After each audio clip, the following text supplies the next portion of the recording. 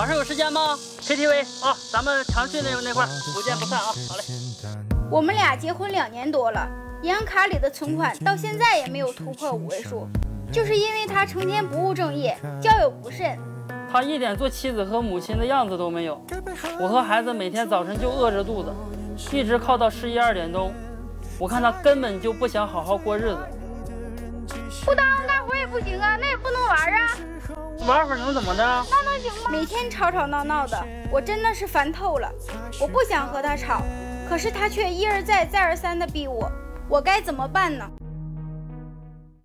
这对夫妻遇到了怎样的问题呢？是男方不够爱他呢，还是女方现在有点小心眼儿了？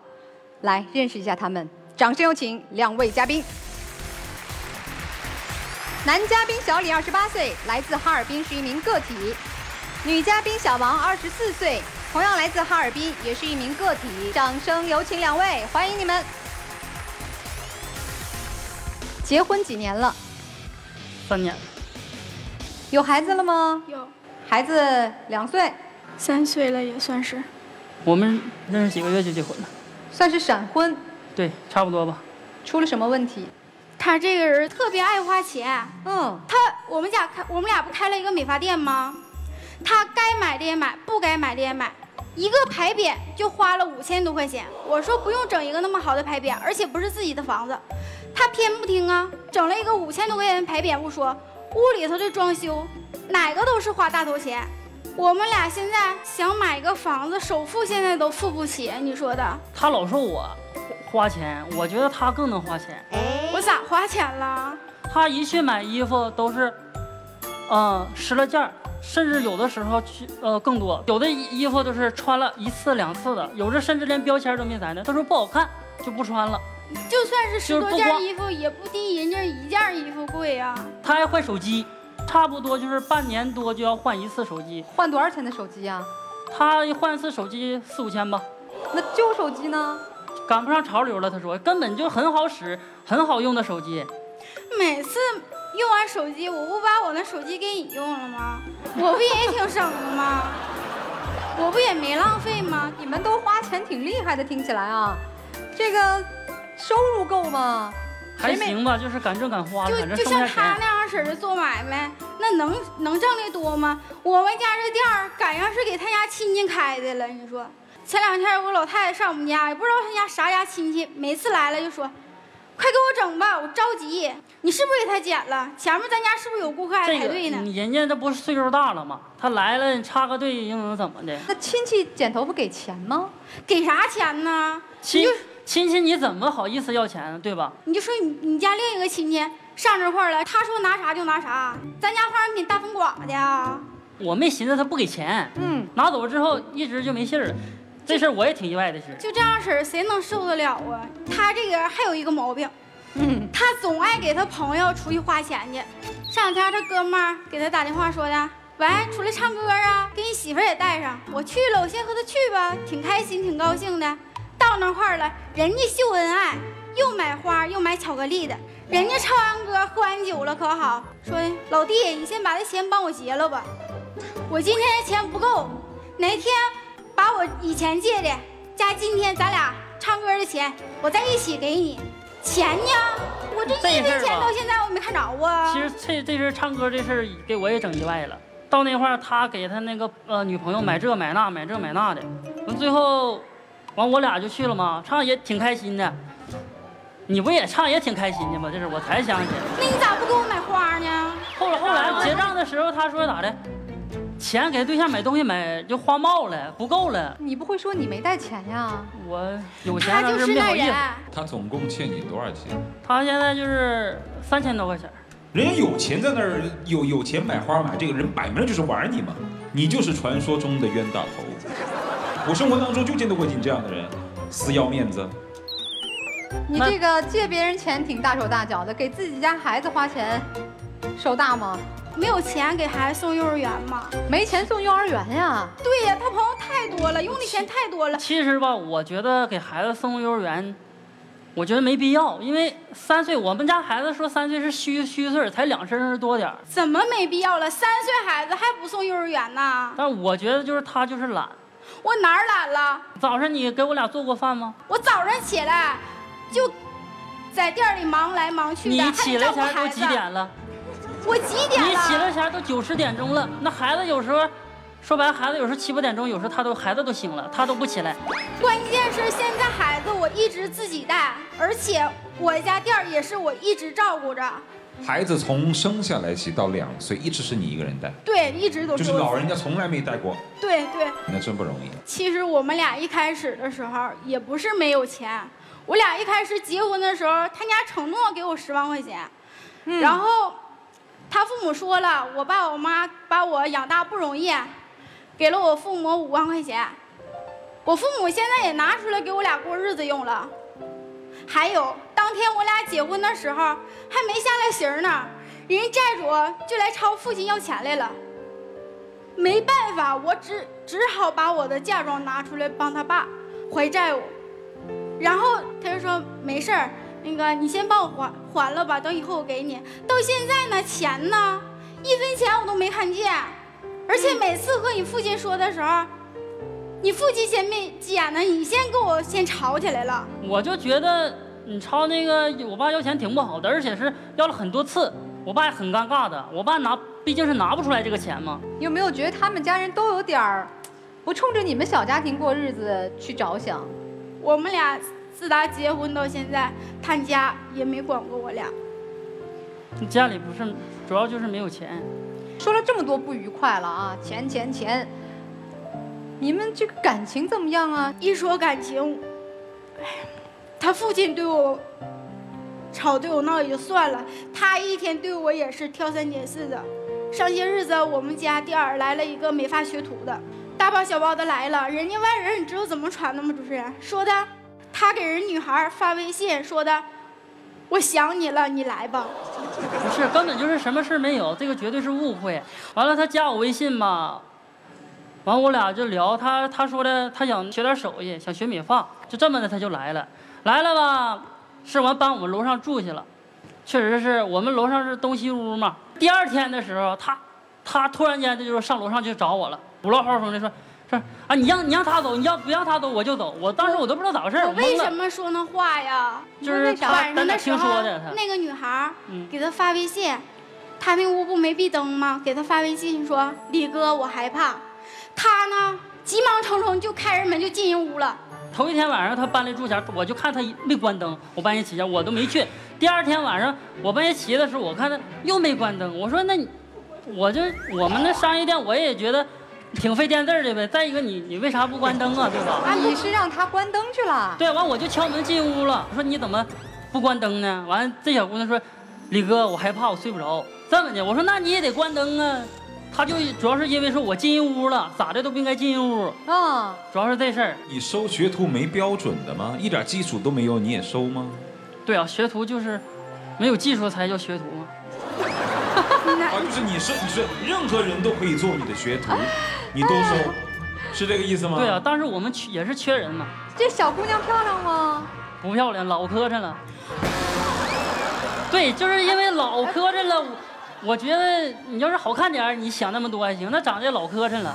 我那真要有个好看的，咋办呀？好看的，如果太好看，我还估计我还真不敢招了。啊，他还老老说我，他也有事儿。什么事儿啊，啊？啥事儿你说吧。他前些日子就前些日子，他就也是玩微信，加一个附近人，我家附近人？完了加一个男的，聊的可欢了，三天两头，三天两头的。你说我聊啥了？你说吧。你是不是有一次跟人说，你吃饭了吗？对呀，我说了咋的呀？干嘛呢？忙吗？而且那天我因为我知道这这段时间就不对劲儿，晚上上厕所，他到点儿他就去，到点儿他就去，好像定点儿。我上厕所怎么的了？不是上再一个这这上厕所怎么了？他时间去的可跟正常人他不一样。正常人你上厕所用多长时间？他最少半个多小时，最长的时候一个多小时。我是不知道你在对主持人。他也人家便秘不可以啊。对主持人，他一说这话我更来气。嗯，你说他也不能不管不顾的出来就打我一嘴巴呀！你给我这脸都打肿了，当时不就是我看他那几天不老上厕所，能不能听我？解释解释啊？你给听我解释。他当时就是上厕所上时间长，完了之后，我就偷看他聊天记录了，嗯明显的就是有删过的痕迹。因为嗯对不上，上边什么也没有。第一句话他说的，说的你也挺好，他关心人家，人家都不愿意勒死他。我跟你说，你打我就是不对劲儿。啊这个确实是啊。这个是我当时我承认，当时我确实有点冲动了。但哦，后来我打呢，他五五六号的给他妈叫下来，他妈给我扇四五个大嘴巴，老疼了。你不也还回来了吗？什么叫做还呢？你打的是我的心，我心在痛，你知不知道啊？再说了，你说咱俩过日子过几年了，你给我买过一样像样东西吗？你说给你前女友的时候，你给她买一个四千多块钱项链，你让你要回来你就不要。她当时跟我生气的时候说：“我跟他我不有感情吗？我跟你不没感情吗？啊，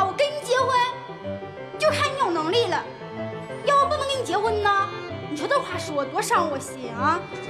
老伤心了当。时也就是跟他闹点矛盾，生正生气呢，完他就老提那个前女友的事儿，完我就我就这么随口就这么说气话哈，气话哎。呀妈，随口一说，这两天是不是都上咱家店儿来了？这事儿我也非常意外，你怎么意外呢？哎呦，谁信他能来呀？再一个，他来我也不能撵他，对吧？整的他跟个老板娘似的，我跟个打杂似的，往这一站，跟傻子似的。他跟人顾客聊的可好了不，，他来店里干嘛来了？他以前不也是在这店就待过吗主持？人，我告诉你他来干啥来了？嗯我不看他俩那个聊微信了。嗯，那女的跟他说，跟他分开是一种错误，说想他了，想回来。你知道他咋说的吗？他说的，你不开心，我也不开心。你要想回来，永远是这个店的老板娘。老板娘啊，这到底谁是老板娘啊对呀、啊？我是啥呀？当时吧，那个他有有有点事儿，他挺伤心的。完了，我就帮他排解一下子。然后呢，这女朋友走了吗？那走了，后来我我也不能跟他吱声啊，对吧走？啥呀？不就因为这事儿今天我才来的吗？如果他要这样式儿下去的话，再不节省钱，再懂来爱花钱、爱玩的话，我真的跟他没法再过下去了。好吧，这个小夫妻俩啊，结婚也没有太长的时间，很年轻，有一个宝宝，钱也是问题，感情也是问题，该怎么办呢？请我们老师用他们的智慧来帮帮你们吧。来，一起进入丘比特问卷。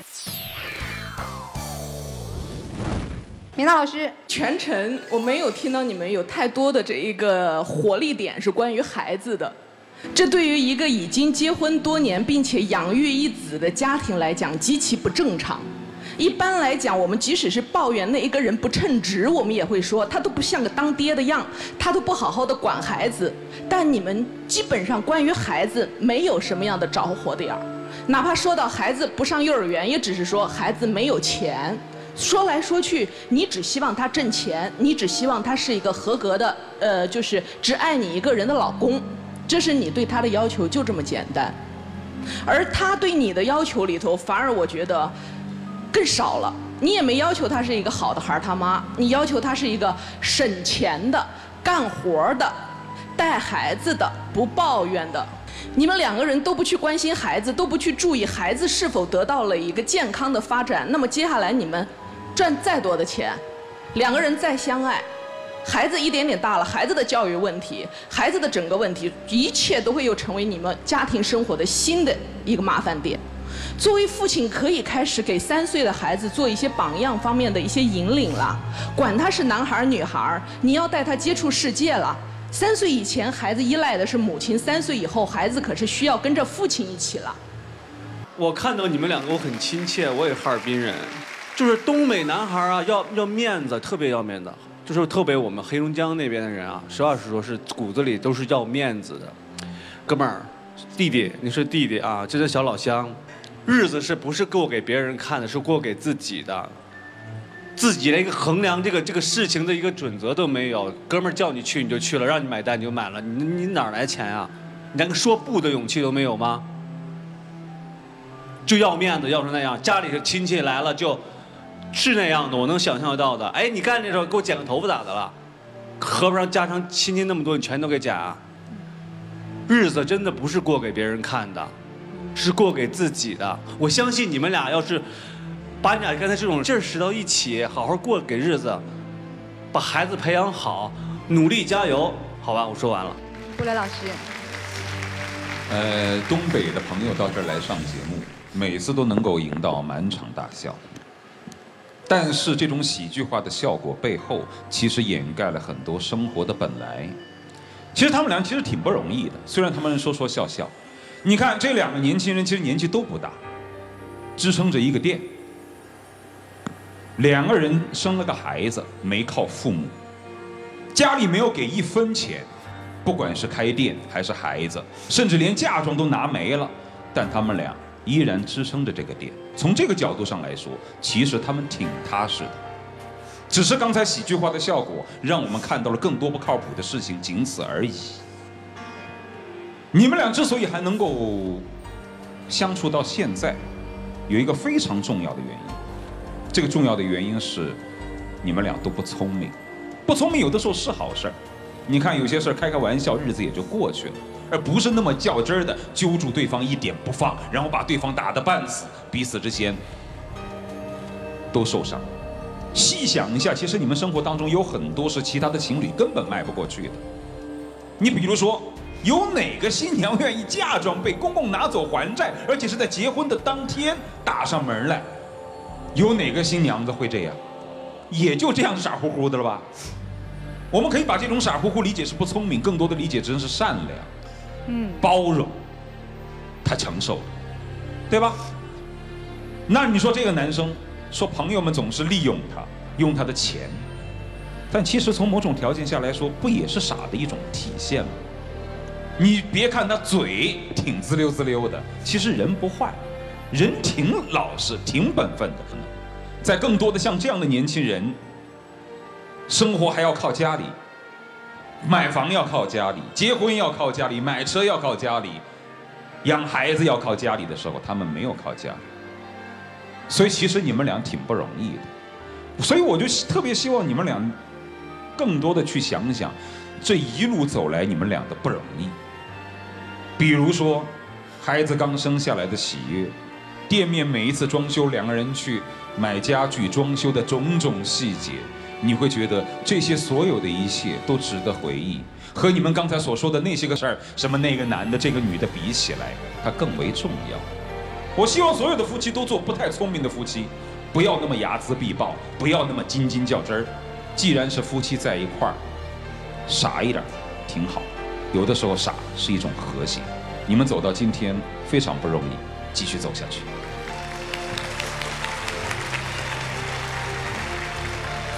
一点小小的提示啊，在黄金六十秒之前，毕竟孩子快要三岁了，要上幼儿园，要接受教育，真的得攒攒钱，少买几件衣服，少点化妆品，你呀也别大手大脚的总请朋友了，咱把自己的交际圈缩一缩，多关注小家庭，攒点钱给孩子，也是给你们的未来，好不好？好，我们一起进入黄金六十秒。其实刚才听老师老师们说这么多，我也觉得以前自己挺傻的。我以前确实做了那些很对不起你的事儿，让你挺伤心的。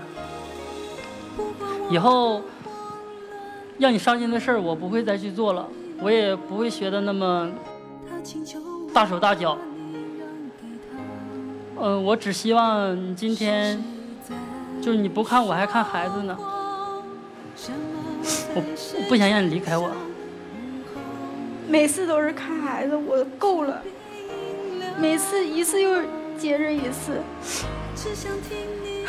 再让我好好想想。说完了，请亮灯。亮灯其实也希望你们看清楚对方。你们都在落泪，是因为不舍得。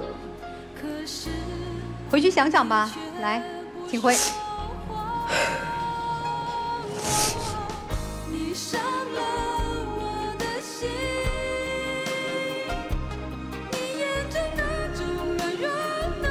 请关门。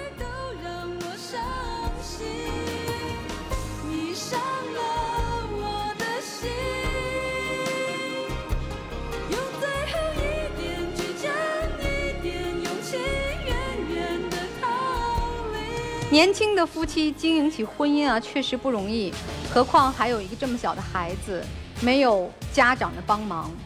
但是这对夫妻呢，他们所面临的可能更多的问题，需要两个人多交流，共同去面对婚姻中的问题。好。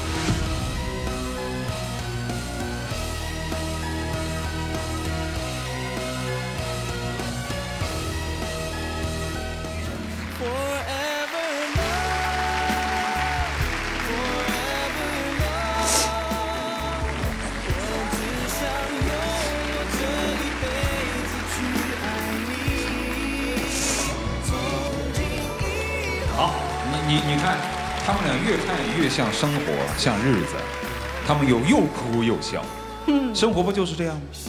说点什么吧。我就是感觉以前做的吧不够好，嗯，也挑他的毛病太多了。我以后我会改，以后我也会当一个称职的妈妈，好好的和他过日子。好，来有请我们的小花童吧，有请。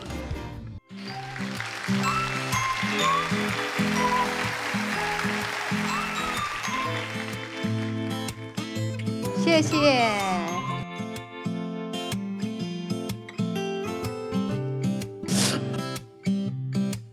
谢谢两个宝宝，来吧，让我们共同来见证这对年轻夫妻的浪漫，来一起见证。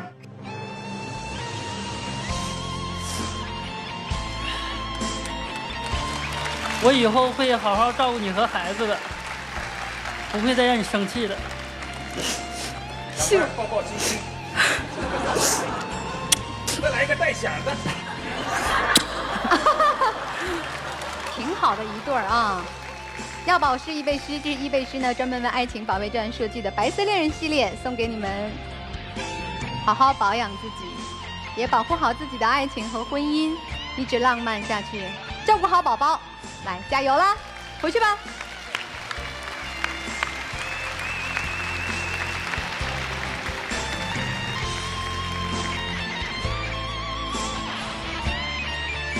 再见。